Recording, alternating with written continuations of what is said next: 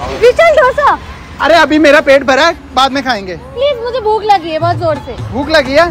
पूरा खाएगी ना? हाँ हाँ। भैया एक डोसा देना। पूरा खाना हाँ? पेट फुल हो गया। इतने से? हाँ क्या करूँ पेट भर गया तो। तूने बोला था ना पूरा खाएगी?